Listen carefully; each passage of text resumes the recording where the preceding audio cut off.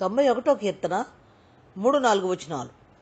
వేటకాని ఊరిలో నుండి ఆయన నిన్ను విడిపించును. నాశనకరమైన తెగులు రాకుండా నిన్ను రక్షించును. ఆయన తన రెక్కలతో నిన్ను కప్పును. ఆయన రెక్కల క్రింద నీకు ఆశ్రయం కలుగును. ఆయన సత్యము కేడమును డాలునై అని వ్రాయబడింది. ఇక్కడ తొంభై ఒకటో కీర్తనలో మహోన్నతుని చాటును నువ్వు నివసిస్తున్నట్లయితే మహోన్నతుడైన దేవుణ్ణి మహా ఉన్నతుడు ఆయన కంటే ఉన్నతుడు ఎవడూ లేడు. ఆయన నువ్వు ఆశ్రయించి ఆయన దగ్గరే నివాసం కలిగి ఉన్నట్లయితే ఆ సర్వశక్తుడైన ఆయన చాటుకు నువ్వు విశ్రమించినట్లే. ఆయన వీటి నుంచి నేను కాపాడుతాడని వ్రాయబడింది. ఏంటి అంటే వేటగాని ఊరిలో నుండి ఆయన నిన్ను విడిపించును.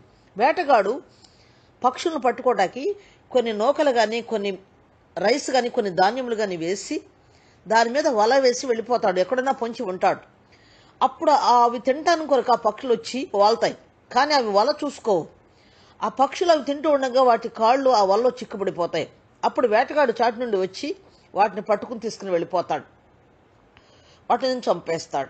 అలాగే సాతానుడు కూడా నీకు ఏది ఇష్టమో నీకు ధనం ఇష్టమైతే ధనం ఎర చూపించి నీకు ఏది ఇష్టమైతే దాన్ని నీకు ఎర చూపించి వాడు నీకు వల వేస్తాడు. నీకు తెలియదు వాడు వల వేస్తున్నాడు. నీవేం చేస్తావంటే నీకు అది ఇష్టం కాబట్టి దానిలోకి వెళ్ళిపోతావు నువ్వు. వాడు వల్లోకి వెళ్ళిపోతావు. కాబట్టి నువ్వు యోహవానే మహోన్నతునే చాటుని నువ్వు నివసించేవాడు అయితే ఈ వేటగాడేసే ఊరి నుంచి ఆయన నిన్ను విడిపిస్తాడు అని వాగ్దానం చేస్తున్నాడు. వేటగాడనే సాతానుడు నీకేస్తున్న ఊరిల నుంచి ఆయన నిన్ను విడిపిస్తాడు. ఎందుకని? నీ మహోన్నతుని చాటు నివసిస్తున్నావు కాబట్టి. సరశక్తి నీడని విశ్రమిస్తున్నావు కాబట్టి ఆయన నిన్ను వేటగాని ఊరి నుంచి నిన్ను విడిపిస్తాడు. నాశనకరమైన తెగులు నశింపచేసే తెగులు రాకుండా అంటే ప్రాణం తీసే తెగులు రాకుండా నిన్ను ఆయన రక్షిస్తాడు. ఆయన తన రెక్కలతో నిన్ను కప్పుతాడు. రెక్కలతో కప్పుతాడు. కోడి తన రెక్కలతో తన పిల్లలను కప్పుకున్నట్లుగా శత్రువు నుంచి విడిపించినట్లుగా ఆపత్కాలంలో శ్రమ కాలంలో యాక్సిడెంట్ అవుతున్న సమయంలో శోధన వస్తున్న సమయంలో బాధలు వస్తున్న సమయంలో ఆయన తన రెక్కలతో నిన్ను కప్పి దాస్తాడనమాట తన రెక్కల చాటు నిన్ను దాస్తాడు. ఆయన తన రెక్కలతో నిన్ను కప్పును. ఆయన రెక్కల కింద నీకు ఆశ్రయం కలుగును. నువ్వు ఆయన్ని ఆశ్రయించావు కాబట్టి ఆయనే నాకు ఆశ్రయం నా కోట నేను నమ్ముకున్న దేవుడని నువ్వు యహోను గురించి చెప్పుచున్నావు కాబట్టి ఆయన ఏం చేస్తాడు? ఆయన రెక్కలతో నిన్ను ఆయన రెక్కల కింద నీకు ఆశ్రయం కల్పిస్తాడు. ఆ ఆపత్కాలంలో ఆ శ్రమకాలంలో ఆ ఇరుకులో ఇబ్బందులు నిందల్లో అవమానాల్లో దుష్టుడు చేసే అగ్నిబాణాల్లో దుష్టుడిని నశింప చేయాలని ప్రయత్నిస్తున్నప్పుడు నీ కాలు జారేటట్టుగా చేయాలని చూస్తున్నప్పుడు నిన్ను నశింప చేయాలని సాతానుడు చూస్తున్నప్పుడు వారు వాడు వేటగాడు నీకు ఉరివేస్తున్నప్పుడు దేవుడు తన రెక్కలతో నిన్ను కప్పుతాడు. ఆయన రెక్కల కింద నీకు ఆశ్రయం కలుగుద్ది.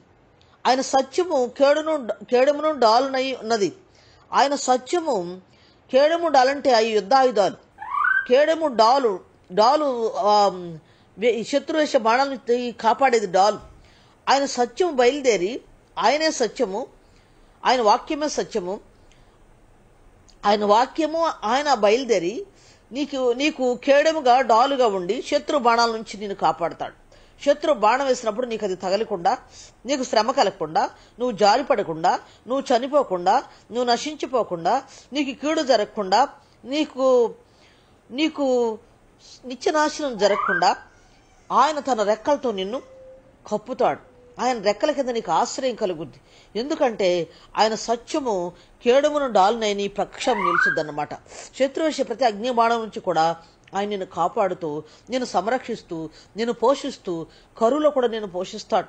నిన్ను పోషిస్తూ సంరక్షిస్తూ దీవిస్తూ నీవు ఆయన ఆశ్రయం చేసుకున్నావు కాబట్టి ఆయన నీడను విశ్రమించావు కాబట్టి ఆయన నీకు నీడగా ఆశ్రయపురముగా ఆశ్రయముగా ఉంటాడు. మరి ఆయన నీవు నివాసంగా చేసుకున్నావా? ఆయన ఎందు నివసిస్తున్నావా? సర్వశక్తి నీడని విశ్రమిస్తున్నావా? మహోన్నతిని చాటుకు నీవు వచ్చావా? దేవుడు నిన్ను అడుగుతున్నాడు. నీవు వచ్చి ఉంటే వీటన్నిటి నుంచి నేను దేవుడు కాపాడుతాడని వాగ్దానం చేస్తున్నాడు. దేవుడి మాటలు దీవించును గాక. ఆ విధంగా మీరందరూ మహోన్నతిని చాటికి వచ్చుదురుగాక ఆమెన్.